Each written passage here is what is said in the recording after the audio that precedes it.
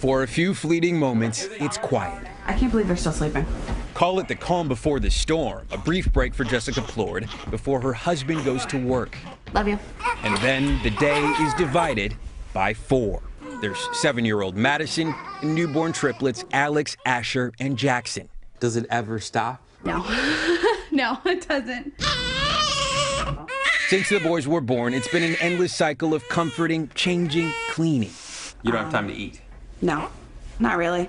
Which is when the meal train comes into play is so unbelievably helpful. Hi, Jess. Tonight, chicken and a side of salad prepared and delivered by a neighbor. Hi. How are you? All organized by her best friend, Aurora Milvey, on the social calendar based website Meal Train. Once it was up and running, it pretty much runs itself. Put the address where the meals should be dropped off. Meal Train creator Michael Laramie says the website brings friends and family together to support someone in need, typically after a diagnosis, deployment, or new baby. Thank you.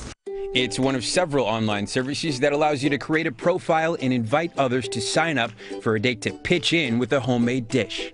To be able to create something that helps so many people is, is such a joy. Laramie now estimates about 2 million people in 40 different countries use Meal Train each month. This is kind of nice, and we can just sit here and eat breakfast.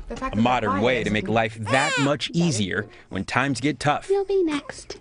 It's just the sense of community is incredible. We've had people we don't even know sign up to bring us meals. Simple acts of kindness served through a warm meal.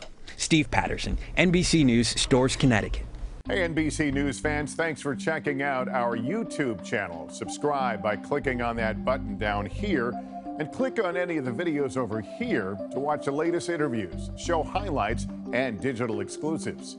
Thanks for watching.